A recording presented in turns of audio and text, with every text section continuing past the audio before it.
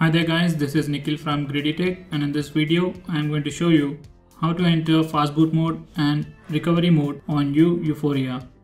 So guys we have the YU Yuphoria in front of us. So to enter fast boot mode simply press the volume up and power button both at the same time. So there you have it the fast boot mode. To come out of the fast boot mode you need to press volume down and power button both at the same time for quite some time and and the Yuphoria will reboot. So there you have it.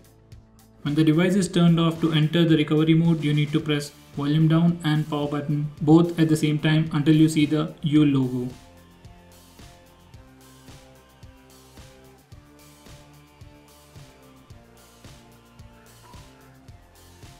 So guys, there you have it, the Cyanogen recovery, which is a stock recovery. So to come out of the recovery, you can simply reboot the system. There is the first option or else simply power down. So that's it guys. Thanks for watching the video. I hope you found this video to be helpful.